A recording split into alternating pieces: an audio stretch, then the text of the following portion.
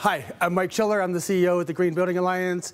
If we haven't met, I'd um, enjoy meeting you afterwards. But it, tonight, it is my very distinct pleasure and honor to introduce our next speaker, which is uh, the mayor of Pittsburgh, Bill Peduto. He has been a, a student of the history of Pittsburgh. He's from Pittsburgh. He gets it. He's one of us. And at the same time, he's been around the world. He's not, he has a larger vision for what Pittsburgh can be um, by witness of our travels last week. Even in all my time here, Pittsburgh has changed a lot, but um, as mayor, I think Bill Peduto brings some of the energy, some of the vision, some of the commitment, and actually now some of the team as he's put a team together to help um, drive a lot of that forward that makes Pittsburgh a specifically exciting place to be right now. I'm looking forward to working with um, the mayor and his administration over the next many years to actually transform Pittsburgh even more than we have so far. Um, with that, I give you Mayor Bill Peduto.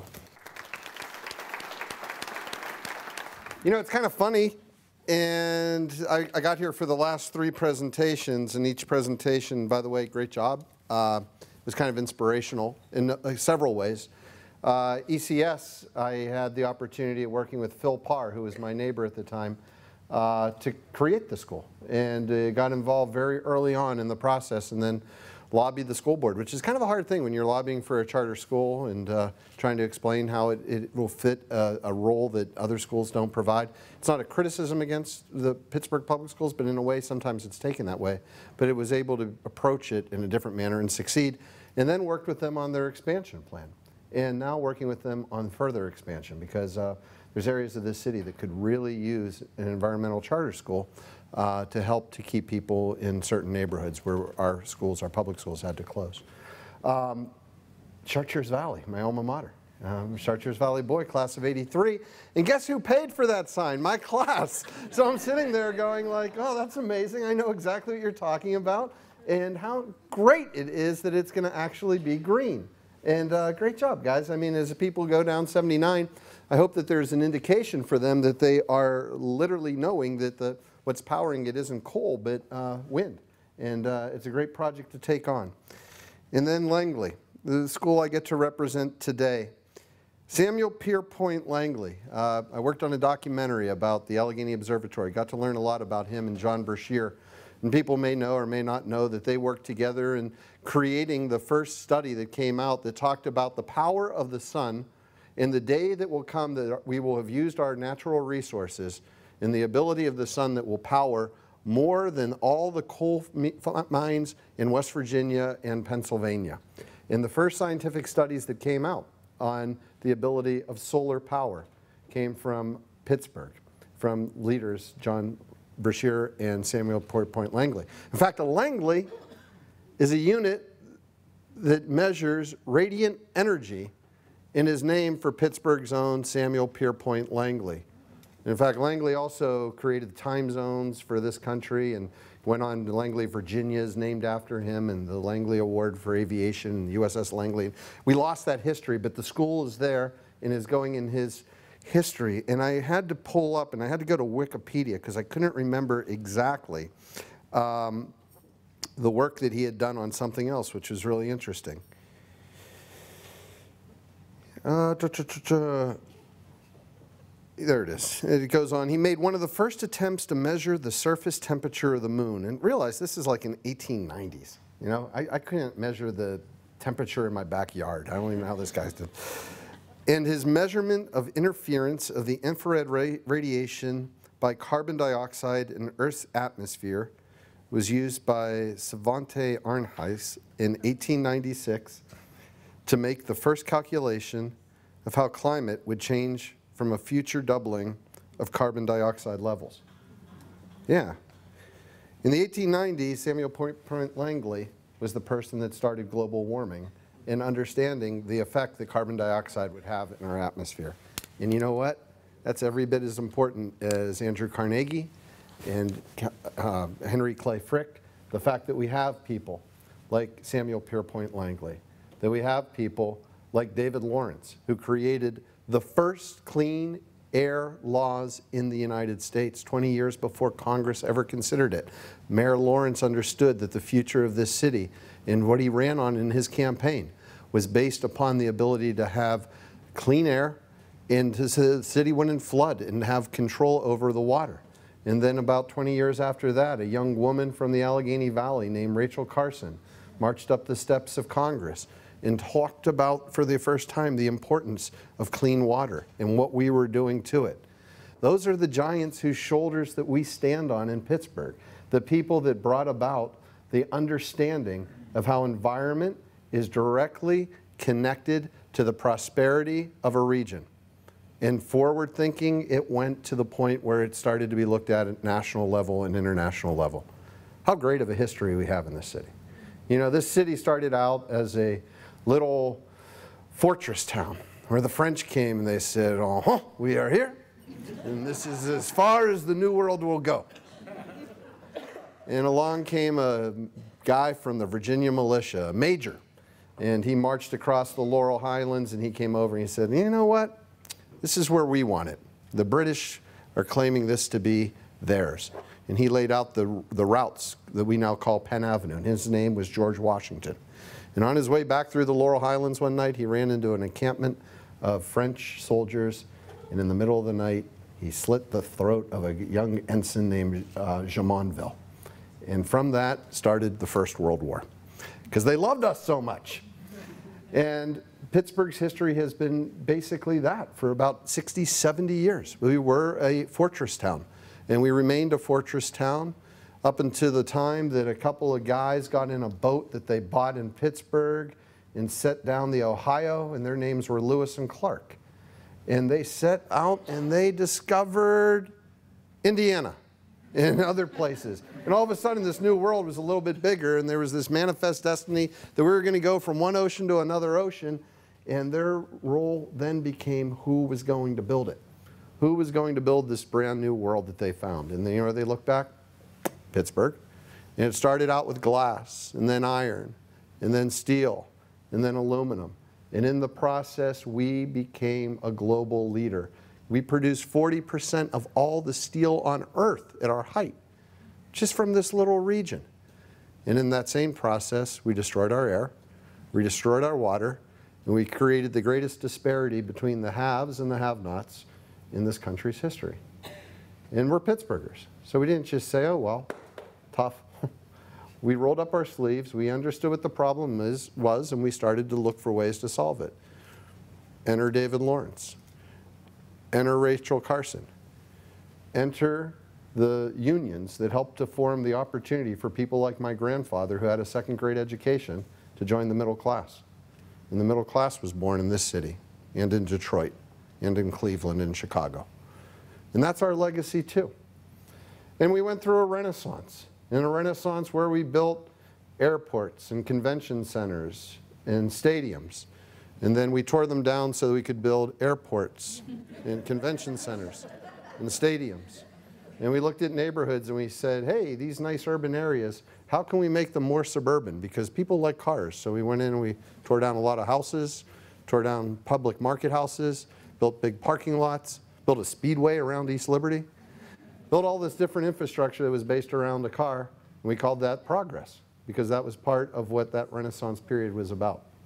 And we went through all those different periods. And then, you know, as things still went well because our economy was going well, 1979 came around, sitting there at Chartiers Valley High School in 79, first year as a freshman, and uh, great time because the Pirates won the World Series with Willie Stargell. Steelers won the Super Bowl, Terry Bradshaw, and Pittsburgh died. Pittsburgh died. You know, Chartiers Valley is a place, or it was a place at least before Collier Township was stopped being a farm and became a lot of mansions. Chartiers Valley was a place where your dad worked and your mom worked at home. And by the time that I graduated in 83, a lot of the guys who I were, was friends with had to leave because their, their fathers couldn't find work here anymore. And by 1983, we had unemployment that was higher than Detroit has today. In the 1980s, we lost more people than New Orleans lost after Katrina.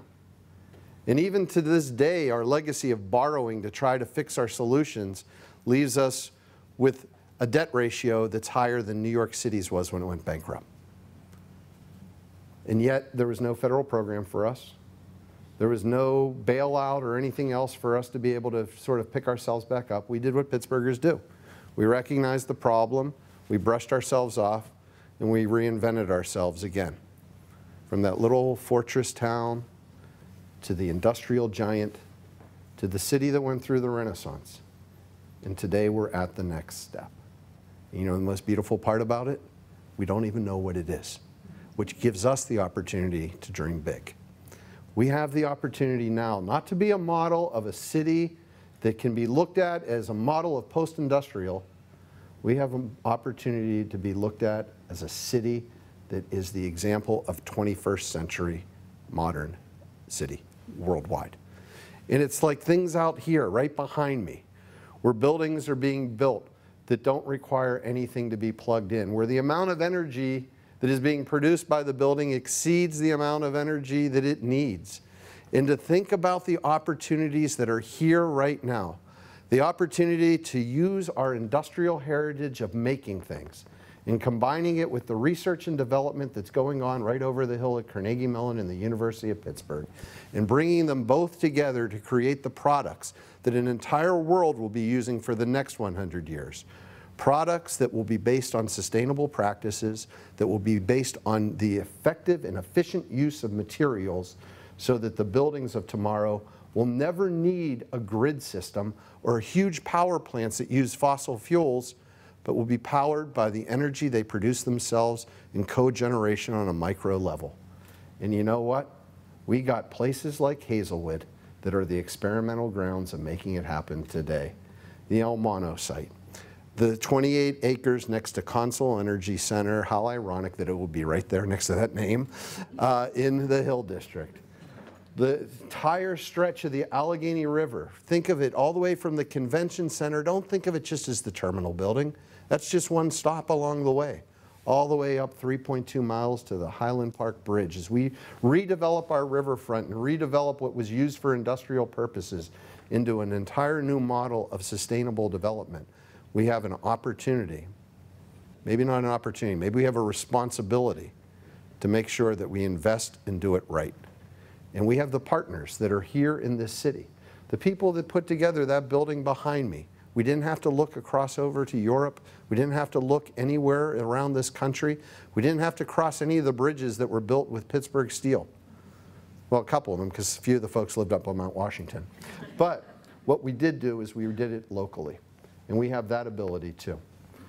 You know, advanced manufacturing is coming back, and it's coming back in a big way in this country. That's why the president is investing so much of his time and energy to making sure that cities that had been industrial in the past have the opportunity to, be manufacturing in the future. And places like Pittsburgh don't have to be uh, under the same type of an idea of it has to be big. You know, Carnegie built out these entire systems, railroads and rivers, under an old economy about getting product to market.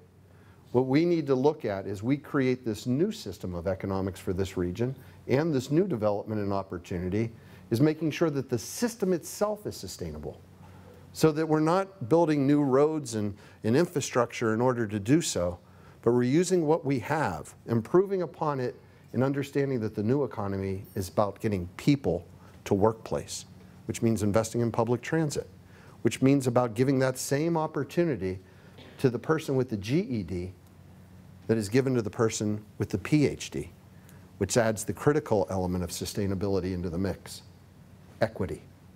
What's good for one is good for all. What's there for one is there for all. And we have the opportunities to create ladders of opportunity to those that have been left behind in the past 40 years. Now, I have the greatest job on earth because I get to represent a city in transition that was the city that I was born in, raised in, and will die in. And I love this city. And I can see this immense potential that's there. And what's really striking about it is so can so many other people. And we notice it and we see it and we talk about it.